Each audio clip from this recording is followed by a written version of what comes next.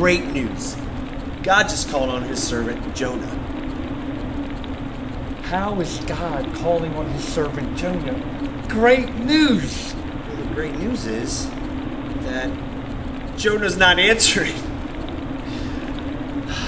You see that God asked Jonah to go down to Nineveh and warn them of his judgment. But instead, Jonah decided to run from God.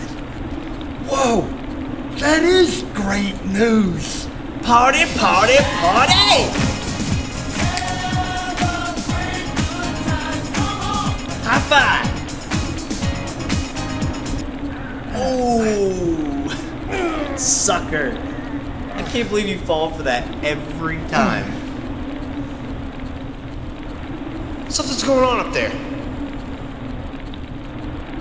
Go see what it is.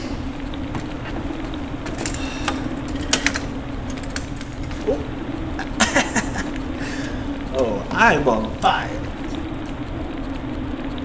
Master, you're not gonna believe this. Jonah is on a ship running from God, and the crew threw him over during a big storm.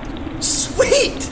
Master, but that's not the best part. How can that not be the best part?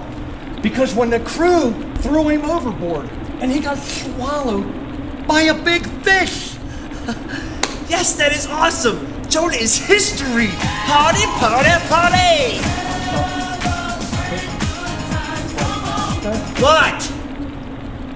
I wouldn't get too excited. Remember Joshua? How he prayed down the walls of Jericho with the help of the great I am? You forget one little small detail. You see, Joshua wasn't swallowed by a whale. I don't know.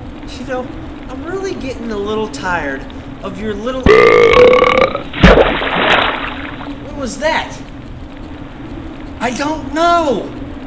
Well, go find out! Okay. This God and his little miracles. Who does he think he is?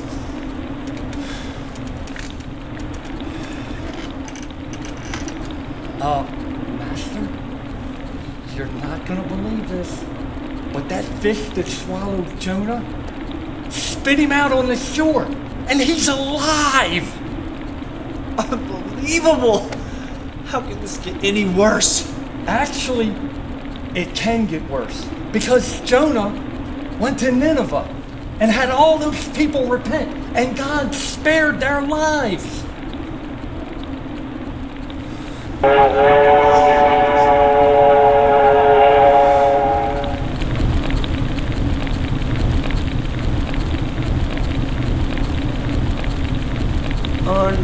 Unbelievable.